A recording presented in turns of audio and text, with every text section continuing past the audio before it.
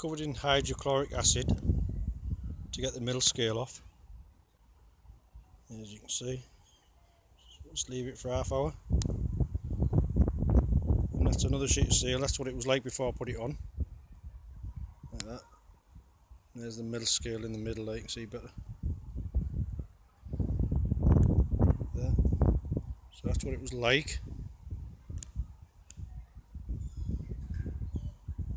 Like that I'm going to leave it for half an hour to soak and spread it around with a soft brush and I'll show you when I've washed it off with some water. Okay.